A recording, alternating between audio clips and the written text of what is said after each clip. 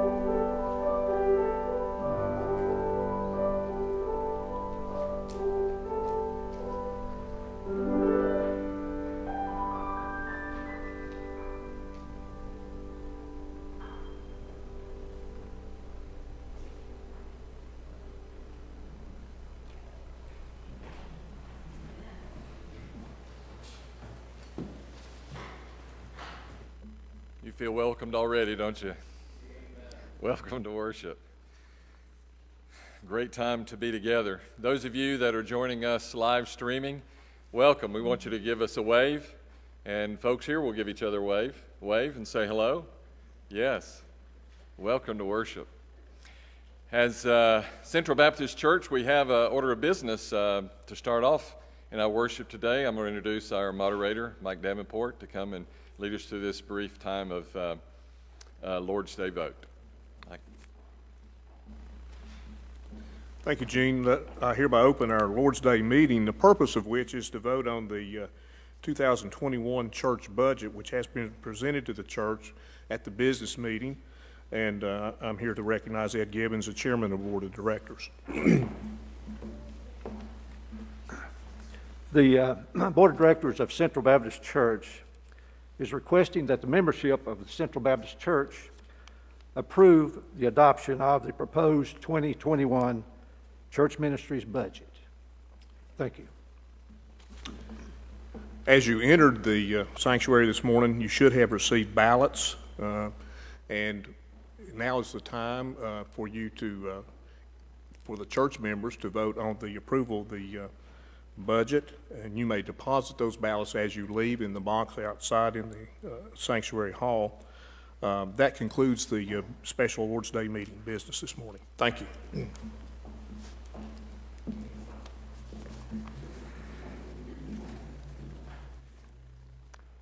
This has been a special week uh, for all of us as we pray for international missions.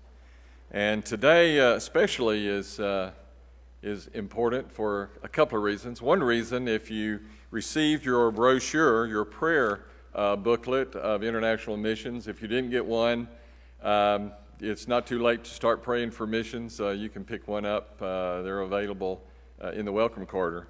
But today, especially, we have a family that's mission, they're missionaries in Italy, the Worthies. Uh, they, they have a Tennessee connection. They have a couple of their daughters are students at uh, two of our uh, Baptist universities here in Tennessee. So um, they're on our list to pray for uh, today. So pray for the Worthies and their work in Italy. And as we think of uh, missions, we've had great connection with missions through the years, particularly with the Carter family. I'm going to ask Charlie to come up now. Bill and Kate Carter served the missionaries uh, in Chile for, uh, he'll tell you, uh, 40 years. And he has a special presentation for Central Baptist Church this morning. It's Charlie Carter. Charlie, welcome. Thank you good morning. As Gene stated, uh, my parents were missionaries to Chile in South America for nearly 40 years. And upon their retirement, uh, they uh, returned to Johnson City, this being my mother's hometown, and Central being the home church that we would come back to when we came on furlough. Uh, after retirement, here at the church, my mom volunteered at the library. She sang with the Joy Choir, which she enjoyed so much.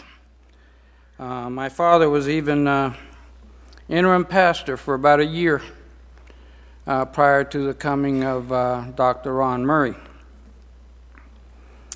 Uh, so today, on behalf of the family and in their memory, uh, I would like to present this picture, uh, which sat over the fireplace in their den uh, to Central Baptist Church. Uh, it was presented to my father uh, when they retired uh, by the Chile Baptist Convention in recognition of their service there. And um, I'll be outside later if anyone needs that little plaque translated. I think you should be able to figure it out easily enough. Uh, the picture is embossed copper, mounted on a, a wooden uh, piece, and um, it depicts a group of fishermen. Luke chapter 5 tells of a day uh, that Jesus was walking along the shore of a lake and is being followed by a large group of people. And he saw some boats and just climbed into one of the boats that belonged to Simon, who was over there washing his nets. And he asked him to pull him out into the water so he could speak to the people from there. And after he was through speaking, uh, chapter 4 tells us he said to Simon, Put out into deep water and let down the nets for a catch. And Simon answered, Master, we've worked hard all night and haven't caught anything. But because you say so, I will let down the nets. When they had done so, they caught such a large number of fish that their nets began to break.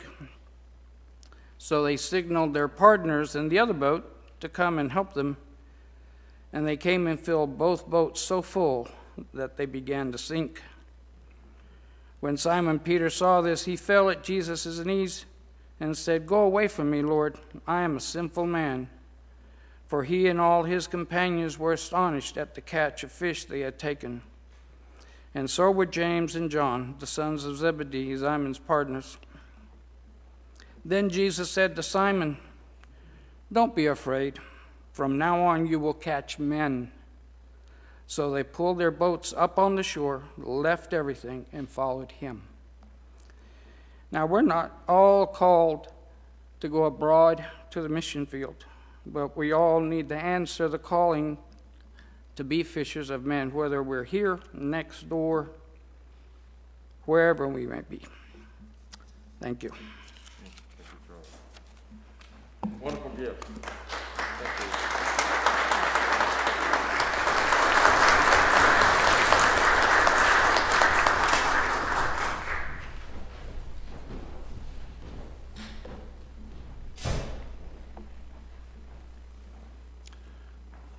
Let us pray. Our Father, we are most grateful for this beautiful Sunday morning, this wonderful opportunity that you give us to be here in your house with your people. We come this morning to worship you and to adore you because we know that you have first loved us. We thank you for the beauty of this season. But we are most thankful this morning for the beauty of your grace, which helps our lives to have been changed and to remain different in our world. Help us, O God, on this day to worship you in spirit and in truth, to adore you more fully, to serve you more faithfully. In Christ's name we pray. And everyone said, Amen. Oh, come, all ye faithful joyful, triumphant. Come and behold him, Christ the Lord. Would you stand as we sing?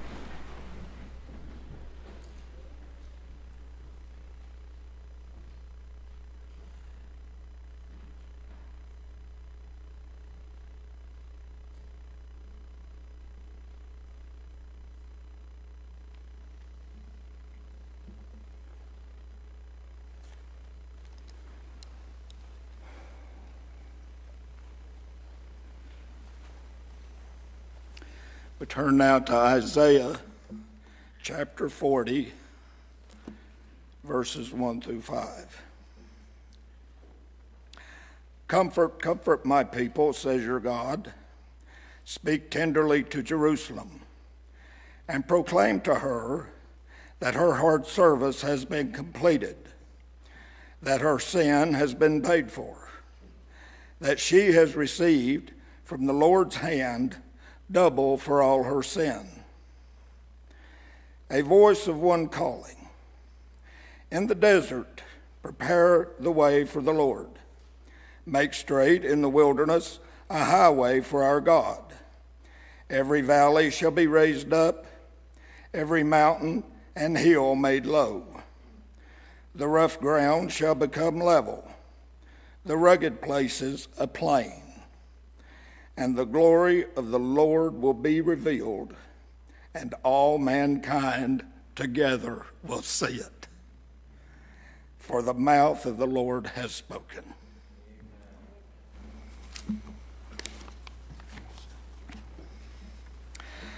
Today, we light the second candle of the Advent season, representing the love Christ brings to our lives and to the world.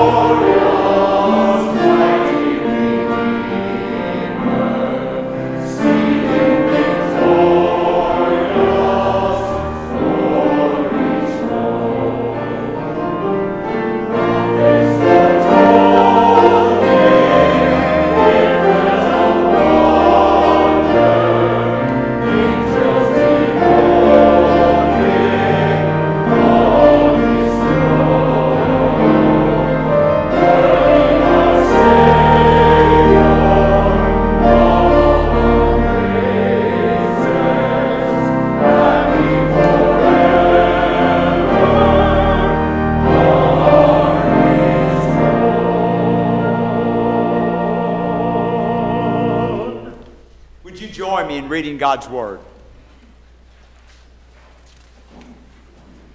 Your love, O Lord, forever will I sing. From age to age, my mouth will proclaim your faithfulness. For I am persuaded that your love is established forever. You have set your faithfulness firmly in the heavens. I have made a covenant with my chosen one. I have sworn an oath to David, my servant. I will establish your line forever and preserve your throne for all generations.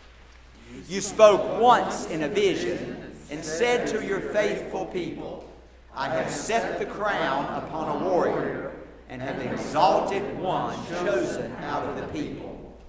I have found David, my servant. With my holy oil I anointed him. My hand will hold him fast, and my arm will make him strong. No enemy shall deceive him, nor any wicked man bring him down. I will crush his foes before him, and strike down those who hate him. My faithfulness and love shall be with him, and he shall be victorious through my name. I shall make his dominion extend from the great sea to the river. He will, say, to me, You are my Father, my God, and the rock of my salvation.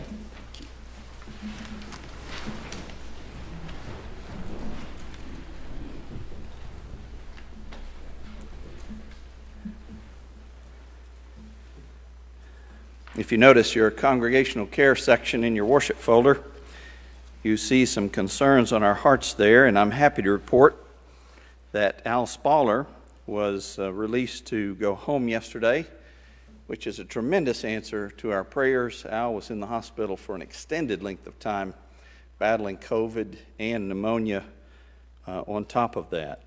We pray also for these who are grieving and for other concerns on our hearts. So, shall we bow together and go before the Lord? Gracious God, we give you thanks for this day, for the Advent season, the reminder that it is of your love for us, your coming to rescue us.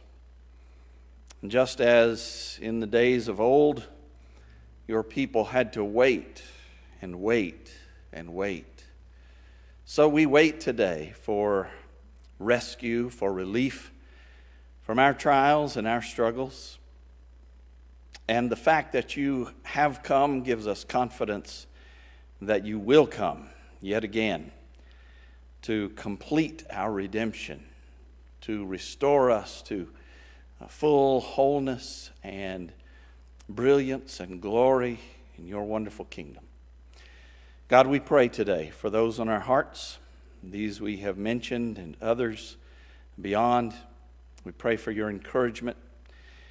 Lord, there is uh, much grief in our nation and in our world today. Losses related to the pandemic, but others as well. We are all stressed. We are all struggling in one way or another. And for some, Lord, it proves too much. We pray for our brothers and sisters who grieve this day. We pray that you would encourage them, encourage those who are working tirelessly night and day to minister to those who are sick and ill. Lord, as our pandemic numbers continue to rise, we are mindful of those on the front lines, our healthcare workers and medical personnel who are serving so selflessly to relieve suffering, to heal, and to mend. We pray that you would heal and mend their spirits and renew their strength this day. God, we love you. We pray as we continue to worship you that we might recognize your love and grace and extend that same love and grace to others. For your glory and for your sake, we ask it today and always. In Jesus' name, amen.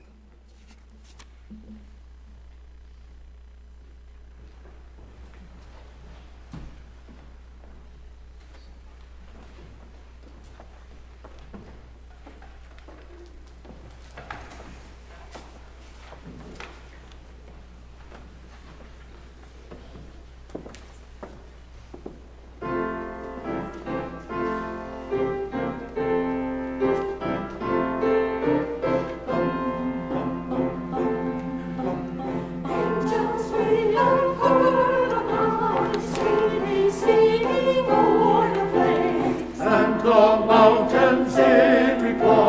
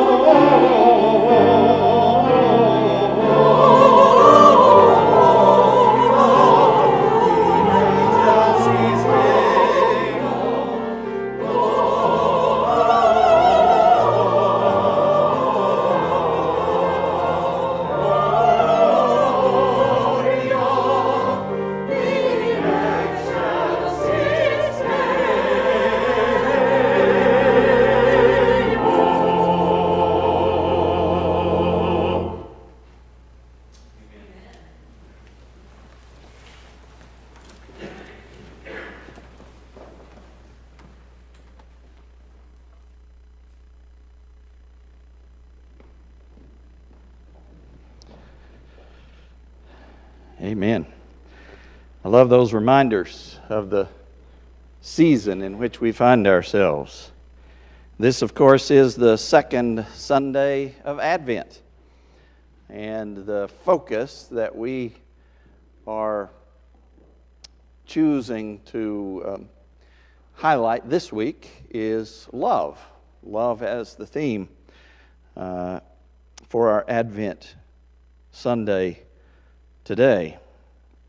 But our world struggles to understand the meaning of love. They reveal their confusion on the subject in a multitude of ways, uh, in, uh, at, at, at all times, it seems. According to Neil Genzlinger, there are over 10,000 songs at the United States Copyright Office in Washington, D.C., whose titles begin with the words, Love is. And the variety of uh, ways in which they answer that question reveals that love is a complex thing and a confusing thing. Uh, let me share a few examples for you from the last century or so that try to define love. One says, Love is like a dizziness. Another, love is a sickness full of woes. Love is an IOU. Love is like the influenza. Contagious, I hope. love is good for anything that ails you. Love is a dimpling doodle bug. Love is doggone mean. Love is your prescription. Love is a glass of champagne. Love is a bore. Love is psychedelic. Love is groovy. Love is a four letter word. Love is a five letter word. Love is for suckers. And on and on and on it goes. But the Bible tells us what love is. In 1 John chapter 4 it says this is love not that we loved God but that he loved us and sent his son as an atoning sacrifice for our sins. Christmas is all about God's love. The love that motivated him to send his only son to us to redeem us. I invite your attention with me this morning to 1 John chapter 4. We're going to look together at verses 7 through 12 and talk about what they say about love on this second Sunday of Advent. I invite you, if you're able to stand with me as I read God's word for us. 1 John 4, beginning in verse 7.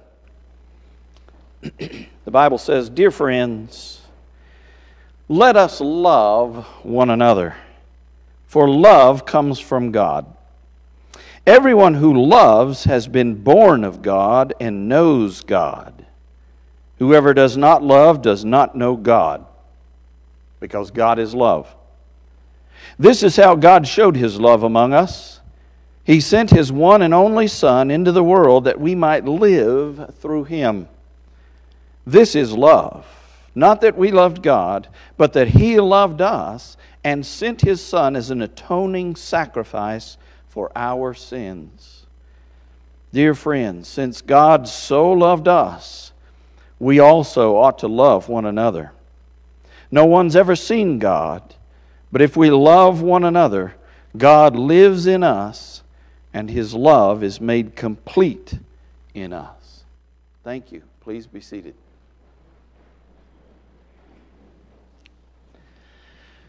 John wrote this little letter to oppose false teachers and to encourage genuine believers, genuine disciples and followers of Christ. And to accomplish that, he presented several tests that can be used to distinguish between false believers and true believers. There is a doctrinal test, which of course is belief in Jesus. We read about that in chapter 2 and 4 and chapter 5. There is a behavioral test, which is obedience. We read about in chapters 2 and 3. And then there is a social test, which is love. And we read about that nearly throughout, verses 2 through, or chapters 2 through 5. And, and if you noticed in this little section of scripture that we read, love, the word love, agape, sacrificial love is used more than a dozen times just in those few verses. In verses 7 and 8, John talks about the person who truly knows God. Now, the word know here reflects the Hebrew sense of an ongoing, intimate fellowship with God. Dallas Willard calls it interactive relationship. That's what it means to know God. And knowing God is, in a way, the recurrent theme of 1 John. It's spoken of over 77 times. And these two verses, 7 and 8, tell us that the true evidence of knowing God is living a lifestyle of love. That's how we can recognize that we know God. Loving others is the indication that we really do know God, because God is love.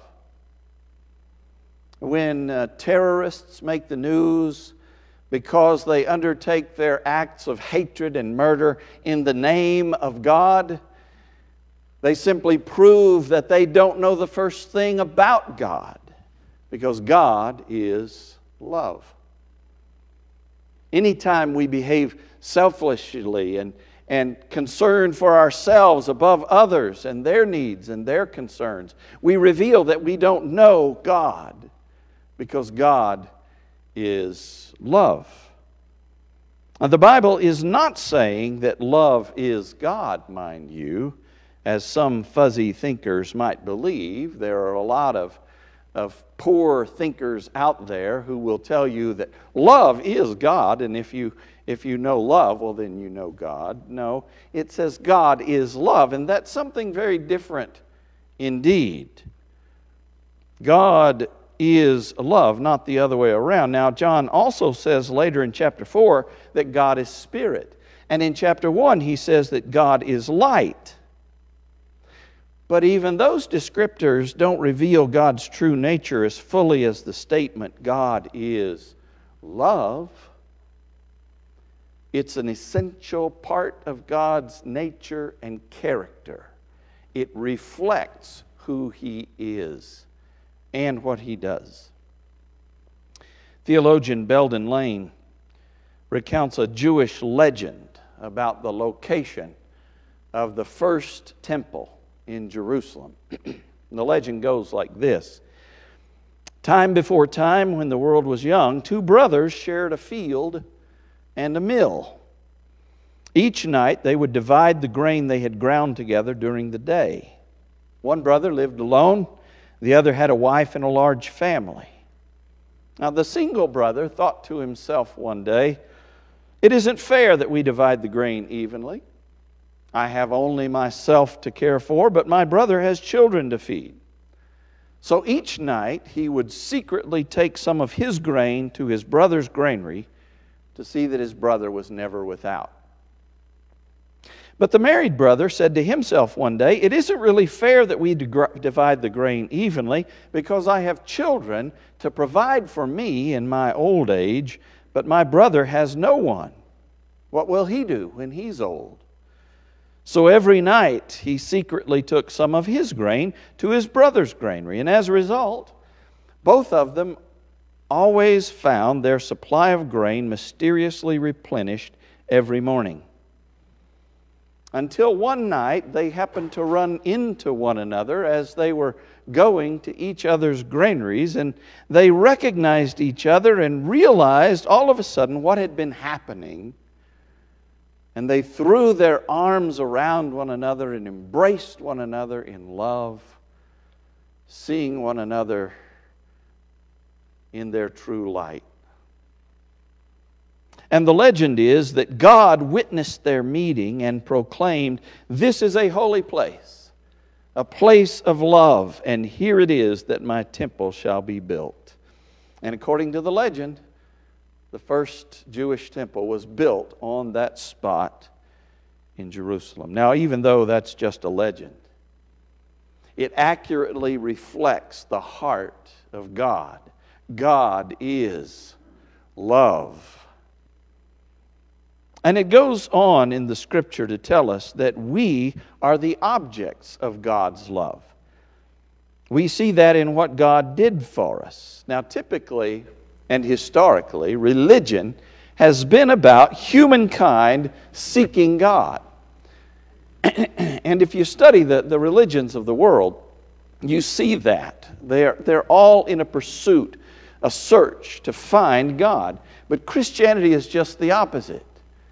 Christianity reveals God as reaching down and seeking us in our sin, in our lostness, to rescue us, to redeem us, motivated by His love. He loves us.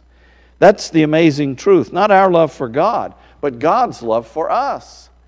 It's astounding, it's amazing, it's astonishing that God would love us. And He has clearly shown that He loves us by sending His only Son to die in our place. What John says in this text in one way, the Apostle Paul says in Romans in another. God demonstrates His love for us in that while we were yet sinners, while we were still sinners, Christ died for us. Love is an action, it's not just a feeling. And that action is sacrifice on behalf of the one who is loved. We, as the objects of God's love, are the beneficiaries of God's sacrifice on our behalf through Jesus Christ. That's what love does it sacrifices for the one it loves. You parents know this. I don't have to explain this to you, do I? You sacrifice for your children because you love them, because you want good things for them. You want them to succeed, you want them to prosper. And so you sacrifice on their behalf. A few years ago, the United States Department of Agriculture put out an interesting report called Expenditures on Children by Families. And in that report, it said that middle income parents of a child born in 2013 can expect to spend about $245,340 for food, shelter, education, other necessities to raise that child through their first 18 years of life. And that doesn't even include college. $243,000. Now, someone else said that for the same money you could buy a brand new Ferrari Italia. So, uh, if any of you young people see your parents gazing out into the driveway at the Ford and the Chevy looking wistful, you better do something nice for them pretty quick. We sacrifice for those we love. God sent His Son because He loves us. For God so loved the world that he gave his only begotten Son, that whosoever believes in him should not perish, but have everlasting life. God does not want us to perish, but to live. Verse 9 says, God sent his Son into the world that we might live through him. Might live, it says. Take note of that because that expression in the Greek text is in the subjunctive, meaning it's it, it has a contingent nature to it.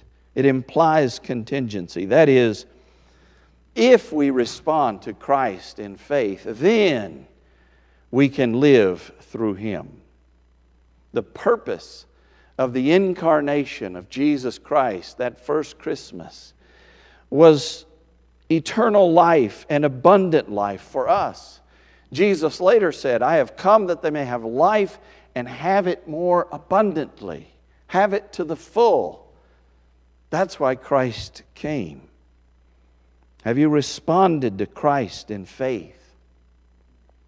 Believing that God sent him to save you, passing that doctrinal test, and then making him the Lord of your life passing the obedience test. You know, we've heard an awful lot this year. No one's going to tell me what to do. But you can't be saved unless you're willing to say, Jesus, you tell me what to do. Unless we're willing to say that, we can't be saved.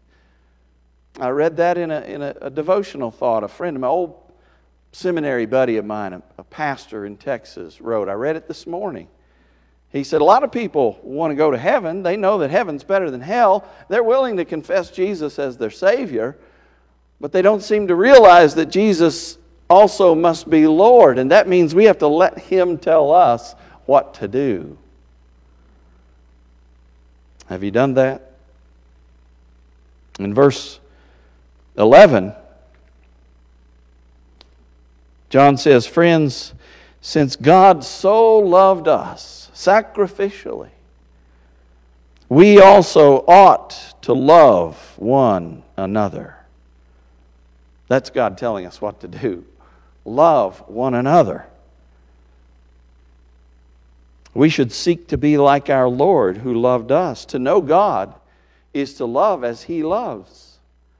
That's the evidence that we know God if we love one another sacrificially, obediently. It shows that we pass the test. And when we love one another, verse 12 says, God lives in us, and His love is made complete in us. The New American Standard, Revised Standard Version, other translations render that as God's love being perfected in us. Now, what does that look like? God's love perfected in us through loving one another. Well, I hope you'll allow me to retell a true story recounted by uh, Rabbi Paysach Krohn in his 1999 book, Echoes of the Maggid. In Brooklyn, New York, there's a school that caters to learning disabled children. At a fundraising dinner for the school, a father of one of those children delivered an astonishing speech. He extolled the virtues of the school, he praised the, the leaders there for their sacrifice on behalf of those children. But then he asked, Where is the perfection in my son, Shia? Everything God does, he said, is done with perfection, but my child can't understand things as other children do. My child can't remember facts and figures the way other children do. Where is God's perfection? And it shocked everyone. It made them uncomfortable. It was a bit of an awkward moment. They didn't know where he was going with that. And then he said, I believe that when God brings a child like this into the world, the perfection that God seeks is in the way people react to this child. And then he went on to tell a story of something that had happened. And one afternoon, he and Shia were walking past a park where some boys that Shia knew were playing baseball. And Shia saw that and he asked his father, Do you think they would let me play? Well, Shaya's father knew that most of those boys wouldn't want him on their team. But he understood that if Shaya were allowed to, to play, to do something, that it would give him a sense of belonging. It would lift his spirits. It would make him feel less different. So he went over to the sand lot where this pickup baseball game was going on, and he asked one of the boys there in the field whether Shaya might be able to play. And the boy looked around for guidance from his teammates. There weren't any coaches out there. His teammates didn't give him any indication. So he took matters into his own hands. He said, Well, we're losing by six runs. The game's already in the eighth inning. I guess he can be on our team. We'll try to put him up to bat in the, in the ninth inning. So Shaya was put, told to put on a glove, and he was sent out into the outfield. In the bottom of the eighth inning, Shaya's team scored a few runs, but they were still behind by three. In the bottom of the ninth inning, wouldn't you know, Shaya's team scored again. Now they had two outs and the bases were loaded. The potential winning runs were on base, and it was Shaya's turn to bat. Would they actually let him do it? Well, surprisingly, they did, even though Shaya didn't even know how to hold the bat, much less hit with it. And as he stepped up to the plate, the opposing pitcher stepped a little closer to the plate himself and gently lobbed the ball towards Shaya. He clumsily swung at it, but of course he missed. And So one of Shaya's teammates came up to him, and together they, they held the bat and faced the pitcher. And so the pitcher again stepped a little closer and, and carefully lobbed the ball toward them. And Shaya and his teammates swung at the ball, and they managed to hit a, a, a slow grounder right toward the pitcher, who fielded it easily. He could have thrown it to first base and gotten Shaya out and won the game, but instead, he threw the ball in a high arc way over the first baseman's head out into right field. And everybody began to yell, Shaya, Shaya, run to first. And Shaya, shocked and wide eyed, began to scamper toward first. Shaya had never run to first in his life.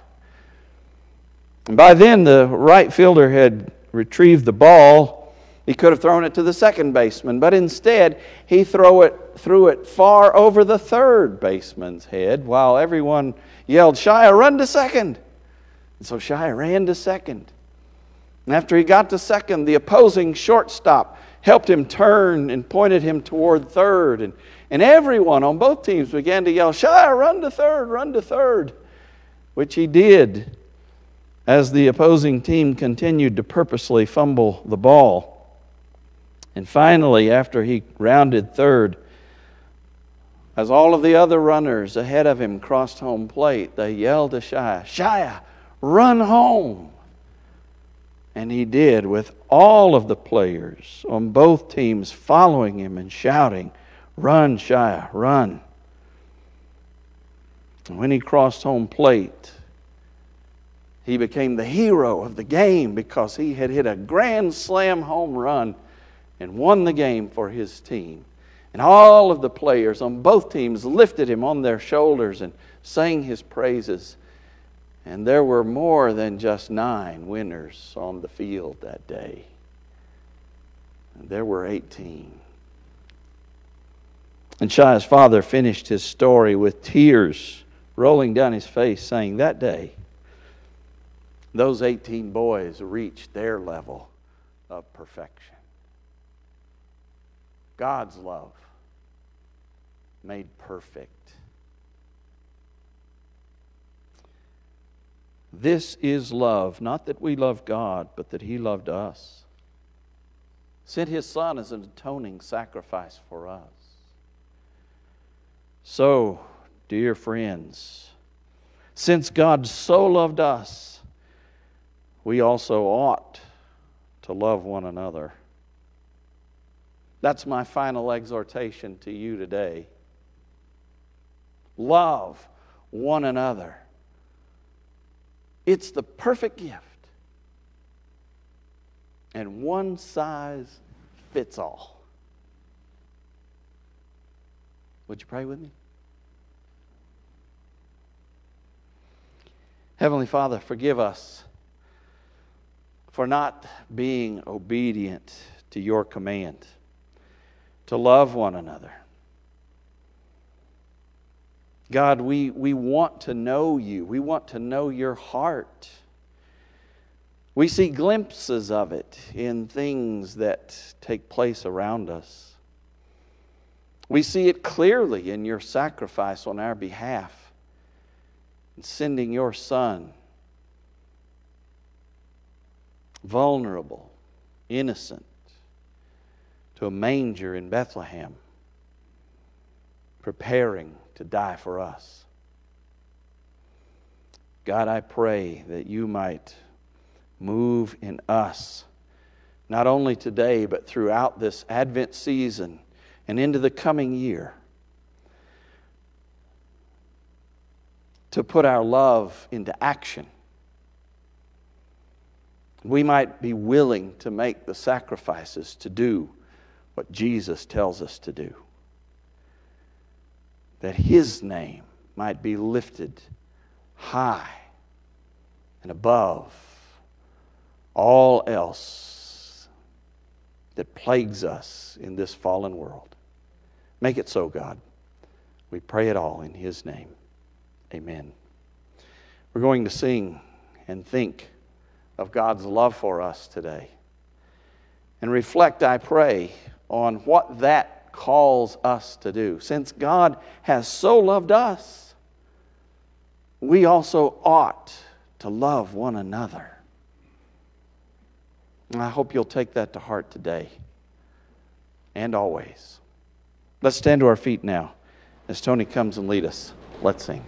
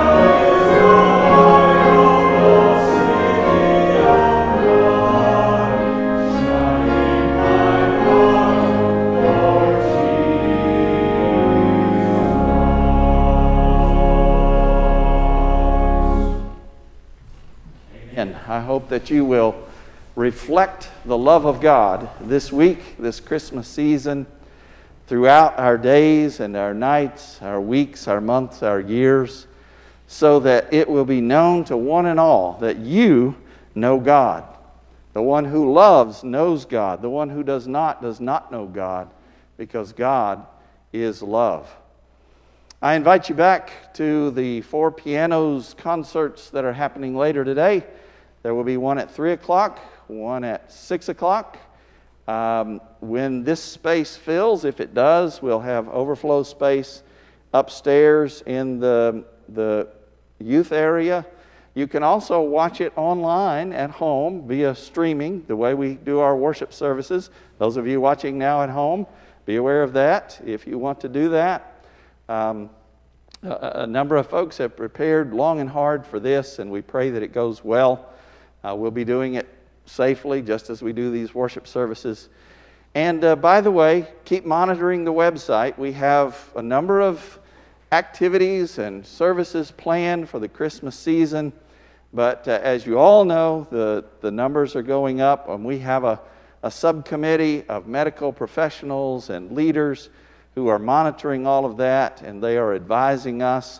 At any moment, we could be uh, in a position where we have to cancel something. So uh, keep an eye, keep tabs on the website so that you'll be aware.